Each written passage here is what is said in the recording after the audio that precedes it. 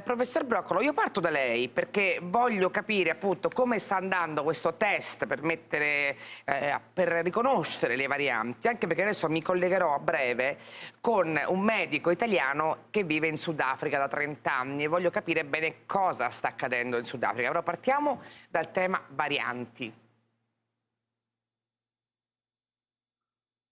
Professore, Come? mi sente? Eccoci. Allora, tema varianti, c'è uno screening che si può fare in Italia, che stiamo iniziando a fare con, uh, ci sono vari kit in commercio e possono permettere quindi di catturare eh, le varianti, le tre varianti che conosciamo, cioè la britannica, la brasiliana e la sudafricana.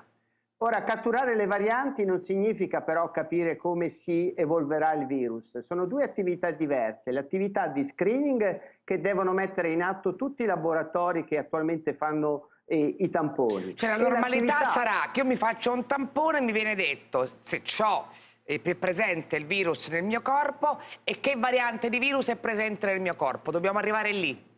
Sì, mi auguro. Io sto personalmente spingendo molto su questo aspetto perché come le stiamo cercando adesso è veramente troppo poco, è pochissimo. Dobbiamo, ormai la variante inglese è ehm, circa il 60%, 50-60% in tutto il territorio italiano. Dobbiamo fermare la variante brasiliana e la sudafricana. Ecco, però si fermi un attimo perché ieri il professor Lefoga con una spiegazione, devo dire, molto efficace, mi ha detto come possiamo distinguere, cioè, spiegare la differenza tra le varianti? Quella inglese è più brava ad entrare nel nostro organismo, cioè come se avesse trovato un lubrificante per una chiave di accesso, quindi è più contagiosa.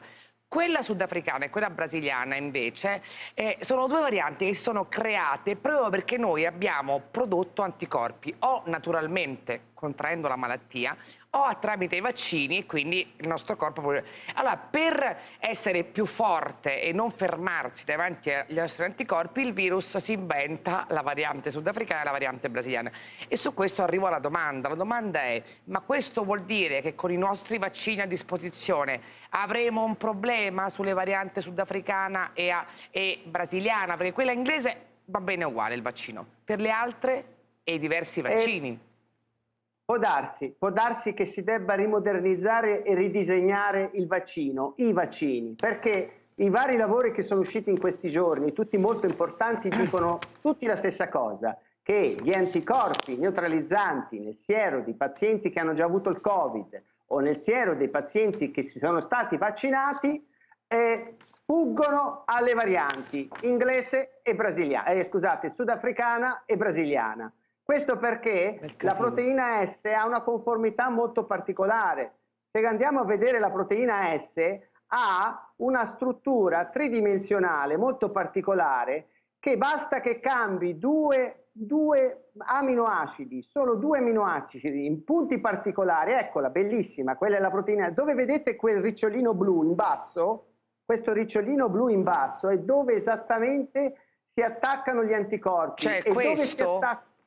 Esattamente, quello in basso, blu, sì. quel ricciolino lì, è anche detto eh, eh, dominio eh, motif, motivo, motivo, il motivo musicale. Pensate a un motivo musicale, se cambio due note, il motivo musicale può cambiare totalmente e non riconoscerlo. Se cambio due note in un altro punto, il motivo lo posso fischiettare e riconoscere lo stesso. Ecco, se le note, quelle due note, vengono cambiate, dove vedete quel, la parte in basso blu, gli anticorpi neutralizzanti del vaccinato non riconoscono la proteina S e quindi non attaccano oh, il virus e il virus riesce a entrare. E questo è il vero eh, motivo. Guardi, la prima Sono volta che vedo un'immagine così chiara, devo dire, no? È molto interessante. Eh, è un'immagine molto chiara, si capisce molto bene tridimensionale, ricordatevi come un motivo musicale o come il calco di una mano sulla sabbia, la mano deve perfettamente ricalcare l'impronta. Ecco, la mano è l'anticorpo, l'impronta è la proteina che avete visto, S.